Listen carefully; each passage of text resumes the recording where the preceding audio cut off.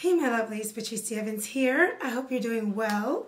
And I know that you're here to hear about my story based on the title. So, first, let me introduce myself. My name is Patrice D'Evans. I'm considered the Caribbean Fusion belly dancing minister.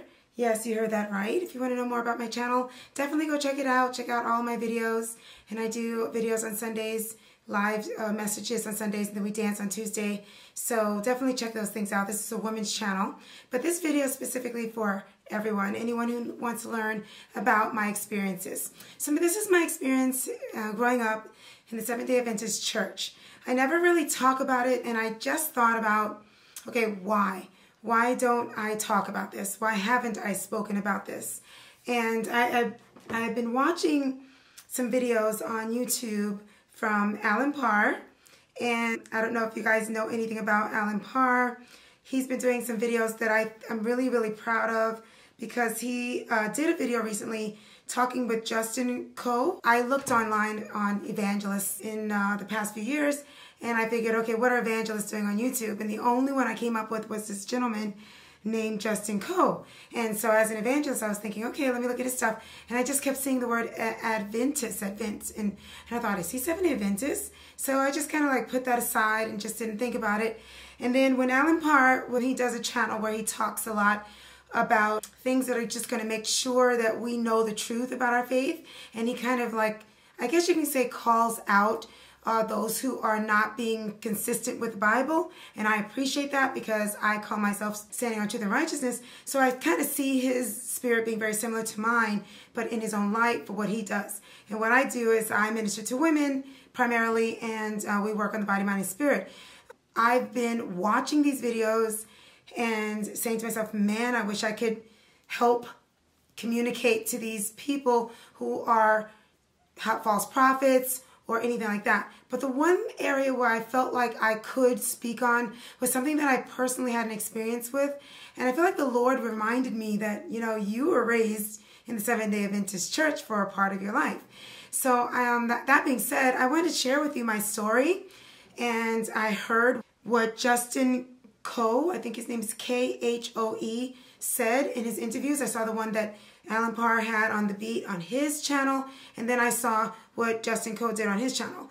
And I do feel like the, the uh, first interview, when Justin Khoe did the interview, they both were very honest, candid, and real. And it was the better one because I felt like they stood their grounds, but they were being honest and Justin Khoe was uh, even being honest about what he didn't like about what he saw in the church, and I appreciate that. And then when by the time they got to Allen Parr's interview on his channel, they were much more sterilized and more timid to stand up. I feel like Allen Parr was trying to get there, but it didn't get there.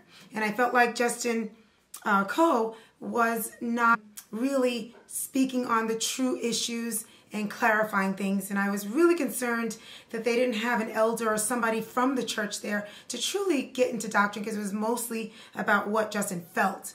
And that did not really hold any weight for me. So I don't know if Allen Parr any uh, continued on to really make closure with that. I'll be looking. But I definitely wanted to share my story to let you know what I went through, which may further explain why I'm so happy Allen Parr went deeper because the truth is I've never understood the faith either. And I just always kept in the back of my mind that I was a part of it. I knew my experiences, but I didn't understand what that was. So let me just go through what I went through.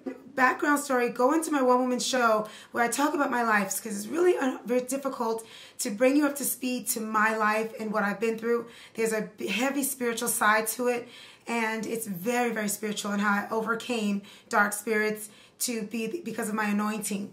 And it was at a young age that I was anointed. So I don't know what everybody feels about that in the Christian space, but I know one thing I know for sure that God does anoint uh, people. People are prophets. They do speak in tongues. They do have these miracles and all that.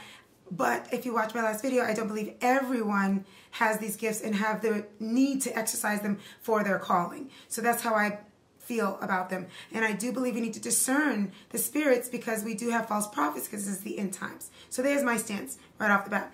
So my grandmother was a preacher And in this town, I don't I agree with Allen Parr about women preaching and being head pastors of churches. However, my grandmother was because I do believe that if there's a town where there's lacking any leadership in the church, no man is stepping up to speak on behalf of God, then a woman would have to. Someone said that that's a disgrace if that happens and and I can get that. And I do in my spirit feel like what a shame that no man could stand up and be the pillar of this community. Well, in that context, I believe my grandmother had to step up. And in her community, I don't know if she uh, would agree with me on that, but I, growing up in the little bit that I can remember, I felt like that was the issue. So my grandmother, being the wonderful woman she was, godly and anointed with healing and um, driving out demons and leading and preaching and she just had these giftings and I took after my grandma. Well, what happened was it was so powerful and so strong that she had a lot of jealousy, a lot of darkness. And uh, my mother, which is the youngest of 10, left the home in North Carolina to move to New York and decided to stray away from it. And from my understanding, I believe she got into New Age practices when she got to New York. So here I am, a very, very little girl and this is coming from the perspective of a little girl. So I wasn't in the adult conversations back then. They didn't allow kids to. I can only go by what I felt in my spirit and what I saw. So now going to this part in New York, I saw these things. I knew my mom was dealing with tarot cards and things. But then there was a time when she joined the Seventh day Adventist Church. So I, in my earliest memory of being with my mother in church, my first memory of growing up in the church with my personal family is Seven Day Adventist, and it was it had a very strong impact on my life because I would I want to bring out three big things that I think stuck with me about it, and these are the big things. I left. I can only go by my feeling when I go back and think about that time as it relates to before we were there, and then my mother did leave that church and ended up going to a Pentecostal church in my teens. We went there on 14, 13, 14. But up until like my teens, my preteens, tweens, I was heavily in the Seventh day Adventist church, and that was my church. And being a very strong spiritual young girl who knew how to be connected to the Lord and prayed, and you'll know more about me, I can tell you what I felt from my perspective in the Seventh day Adventist church. First thing I felt is I had a lot of mixed feelings because I felt like that we were elite. I felt get this feeling like we were better than other people because we knew something others didn't want. And it was very clear that we knew these things. We held we respected the Sabbath. And I just remember feeling like they don't know. I don't know who told me or how I learned it, but I remember feeling like every day when I went on to church on Saturday, we knew something others didn't know. And, I, and I'm going to say it since Allen doesn't want to say it. I do think that's cult-like.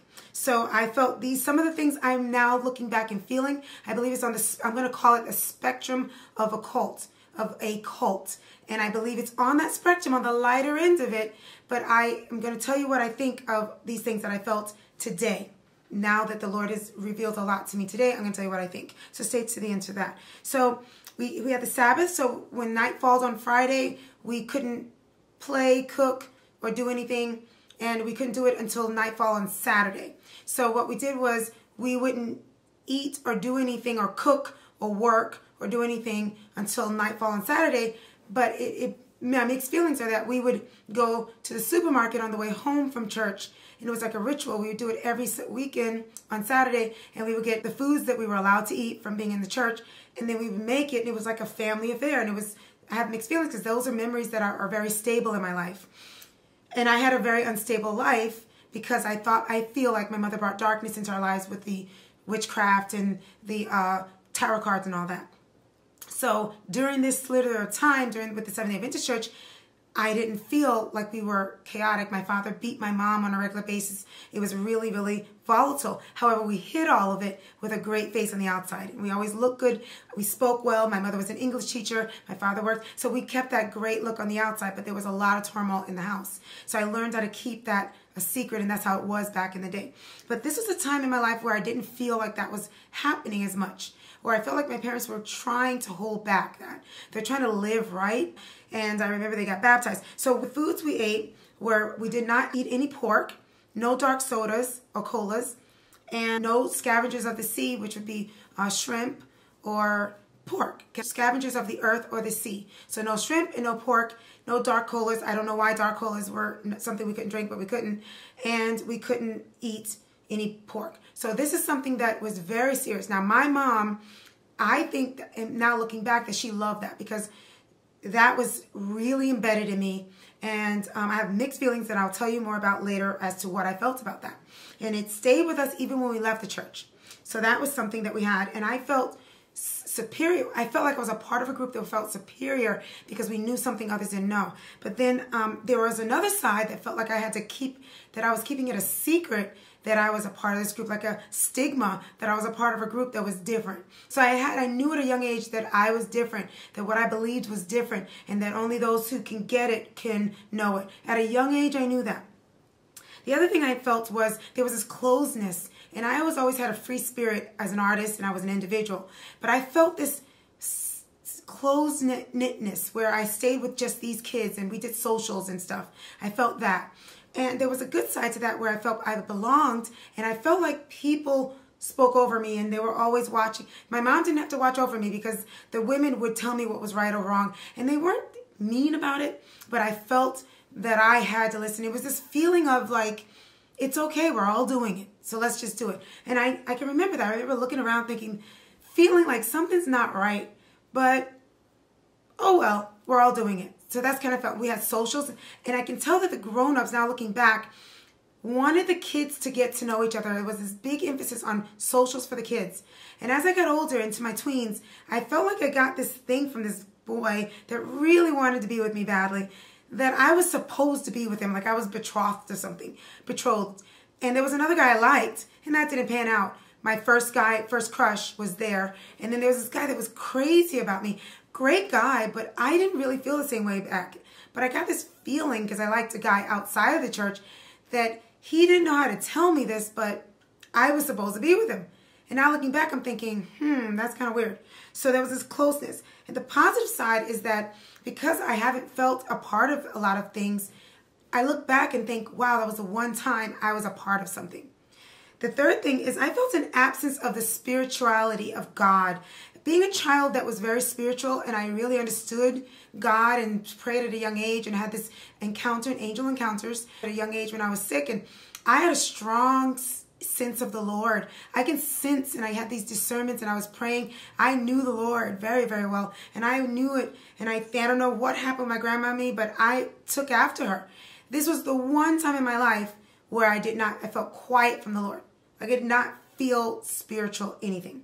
So that being said, those are three big things I remember about that time. There's other things that definitely I can talk about another time or I'll find another way to share with you. But these are the big things that I remember. So what I can say I'm left with today, looking back, being the evangelist that I am, is that um, I don't think you can, first of all, be an evangelist unless you understand hell to be what it is. It is a torment forever.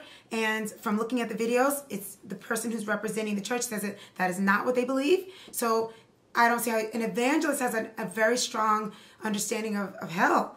And that's what motivates us to love people so much and not want that for them. Want the best. We have a good understanding of heaven as well. So that's a concern I have now. And looking back, I'm thinking that was like a dull spiritual time in my life.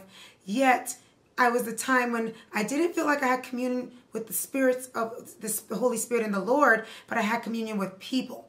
And that makes me think it's on the spectrum of a cult because cults make you feel like you belong and you have precepts and things that you have to do from them that's outside of what God is saying. Because the new commandment does not require us to not eat pork and all that. And it doesn't require us to keep a Sabbath the way we did before, and Paul made that clear.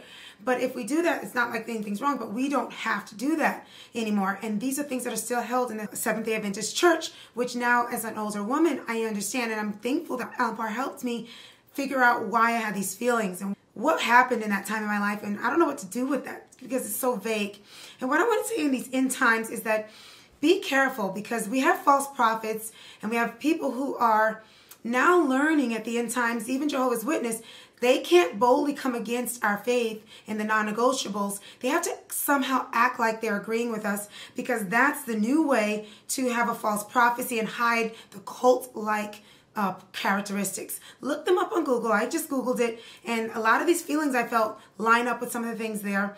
And, you know, God is very simple and plain for a child to understand. You don't have to walk in circles when you're explaining your faith.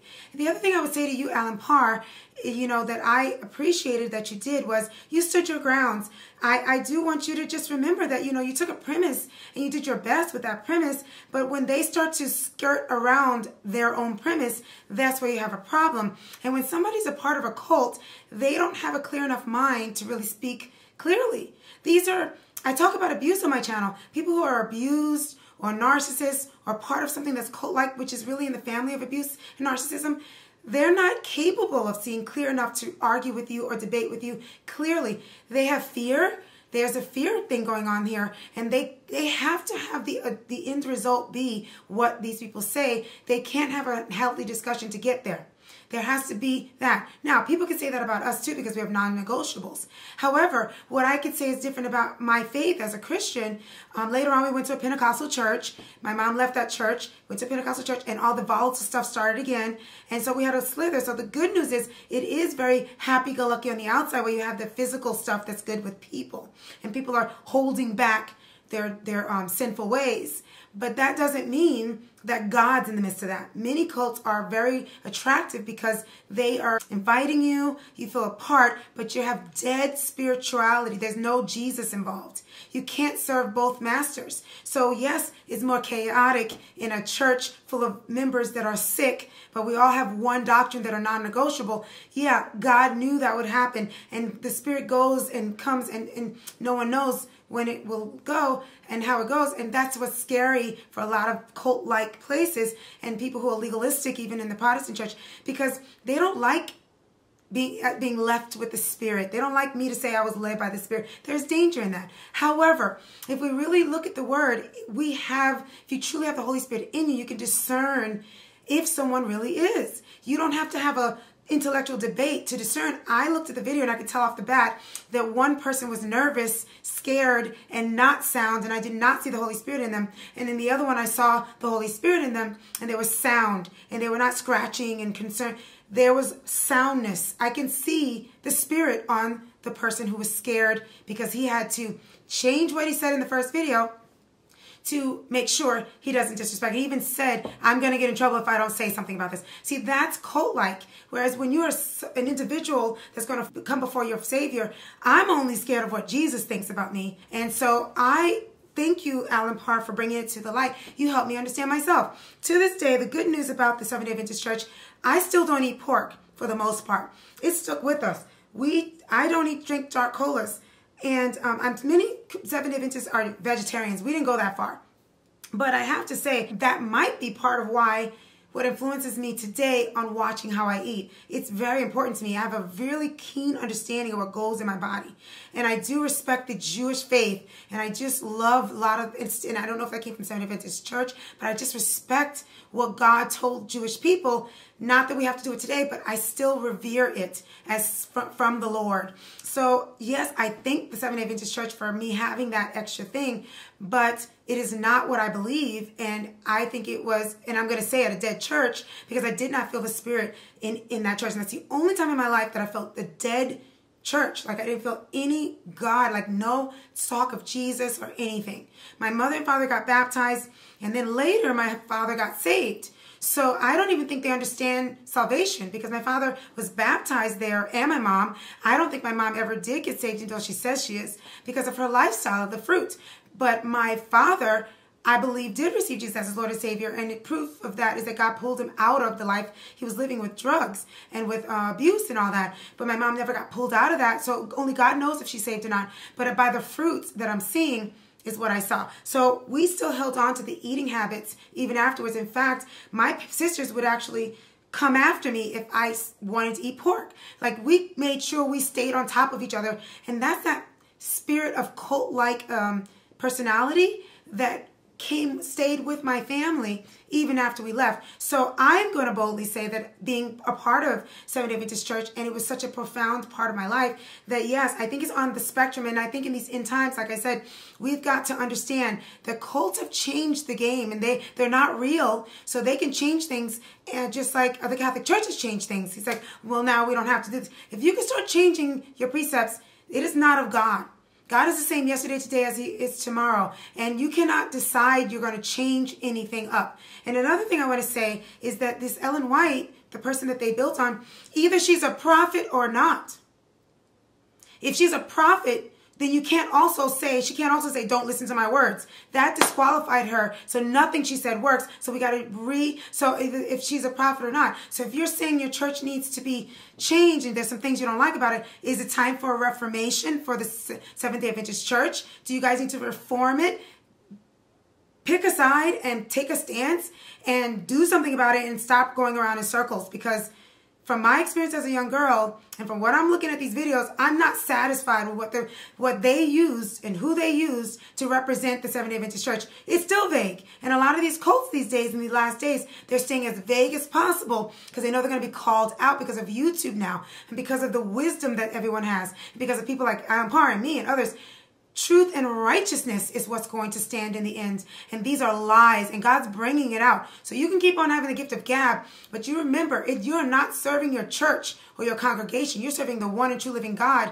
And you've got to pull away from the cult like ways of even a Protestant church to stand up for truth and righteousness in Christ. So I love you guys, and I hope that this helps anybody who's confused about the Seventh day Adventist Church, and if I can help in any way. God bless you. Bye.